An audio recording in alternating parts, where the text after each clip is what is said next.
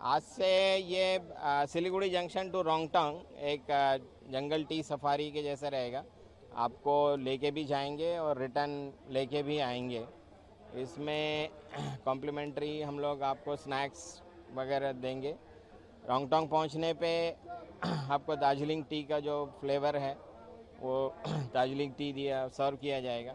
Return immediate engine reversal करके वापस गाड़ी छः बजे तक आपको यहाँ पे लेके देखते रहिए डीबी भारती समाचार नज़र हर खबर पर।